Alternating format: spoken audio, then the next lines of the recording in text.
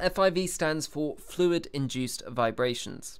These vibrations are induced via the pressure fluctuations acting on the pipe wall due to turbulence. This phenomena occurs in all medium transporting pipes. Within straight pipes, turbulence is generated by the turbulent boundary layer at the pipe wall, which is dependent on the Reynolds number. However, typically the largest sources of turbulence are generated from major flow discontinuities, such as tees, bends, or reducers. The excitations are of a broadband nature, acting over a range of 1 to 100 Hz. Low vibration modes of the pipework can be excited, which can cause visible motion of the pipe and potentially even the supports.